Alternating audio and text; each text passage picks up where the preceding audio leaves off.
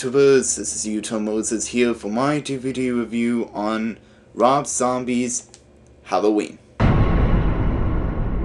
In this reimagining of Halloween, of which Rob Zombie refers to, chronicles the life of Michael Myers back when he was 10 years old, telling about when he murdered the people in his family and got locked up into a mental hospital being examined and studied by Dr. Loomis, played by Malcolm McDowell, and he's been locked up for 15 years after killing somebody in the until he escaped from it and head back to his hometown of Haddonfield to wreak havoc once again.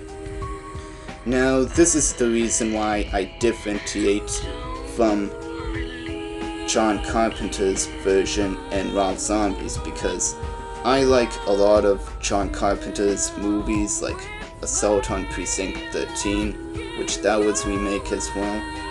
And I also heard that there's going to be a remake to Escape from New York, starring Timothy Olyphant, I believe.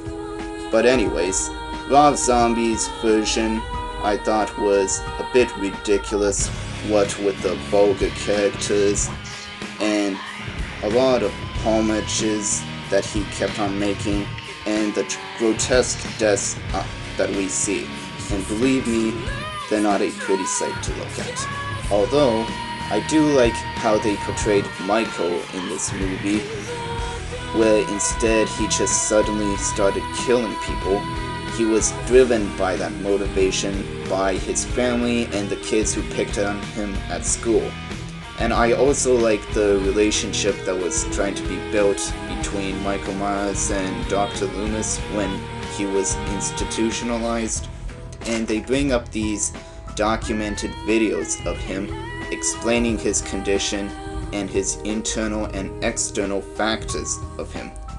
And let's not forget, the Michael Myers that's portrayed on the cover is played by 6 foot 7 wrestler Tyler Mane, now that's the guy you don't want to screw with.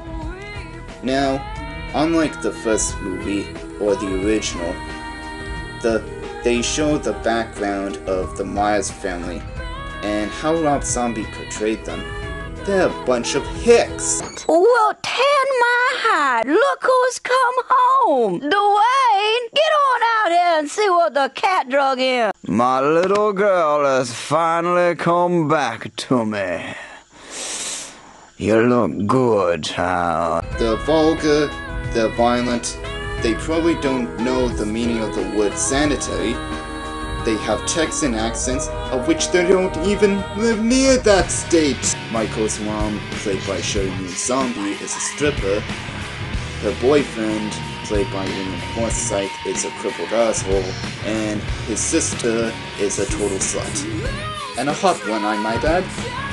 Now, the actors did a good job in their department. It's just that how they written the parts for them weren't really good at that point. I mean, the actress who played Laurie Strode, Scout Taylor Compton, for example, she was fine until she goes Texas Chainsaw Massacre and starts screaming and getting away from Michael Myers. And as graphic as the death scenes are, I do get a cheap thrill out of them. I'll admit that.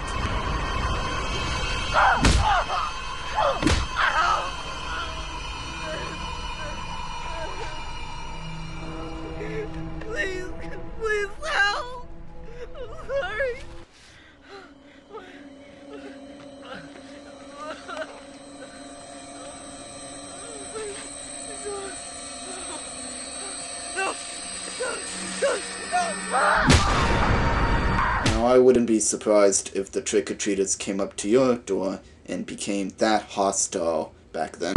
You take my kid's candy and I kick your ass! Happy Halloween! And how these characters talk in this movie, they talk, talk so stereotypically and annoying, like Laurie's friends, for example, and topped off with the coarse language. Like, I don't know if they speak like that during their time And remember, the story in this movie takes place in 1978, the same year as the original Halloween, and goes over to 15 years later into the 90s. Let me show you a clip, for example. Check it. So Lady Fuckface gives us three new chairs to learn. Yeah? So I'm like, hey, why don't we just racket commando, flash some snatch, and maybe nobody will notice we're doing the same old tired Oh, cheers. you didn't. Oh yeah, I did. yeah, you did. Yeah. You know what that dried up fucking bitch did? What? Calls my dad and tells him what I said. Yeah. Oh that God. C-U-N-T. Yeah. Needs to get laid. What did your dad say? So, mostly everything in the 90s sucked. Except for movies! Like I said before, I really liked the first part of it, but once Michael makes his way to Haddonfield, it goes through the same story progression as the original Halloween and just made it tedious at that point. The only actors that I liked in this movie was Malcolm McDowell, Brad Dourif as Sheriff Brackett, and Tyler Mane, who I really admired him as Michael Myers because of his towering height. So, in conclusion, like most horror remakes, I thought this was inferior compared to the original Halloween. It didn't use any new plot devices. It used the same recycled music from The Devil's Rejects, with the exception of the Halloween score. And the characters are much more vulgar on, and unsophisticated, along with there being more gore and nudity I respect Rob Zombie as a very visual man. And like I said before, The Devil's Rejects was a badass movie, and I would like to see another movie like that rather than a rehash. So out of five, I give it two and a half stars out of five. Now for special features. This is the unrated version, and I liked the theatrical version more, which I saw first in theaters. And for special features, we have commentary by the director, alternate ending, deleted scenes with commentary, bloopers, the many masks of Michael Myers, reimagining Halloween, meet the cast, casting sessions, Laurie Strode screen test, and the thea- theatrical trailer. Okay, so that was my review for Halloween. Rate, comment, and subscribe and I'll be back with Rob Zombie's Halloween 2. God damn it!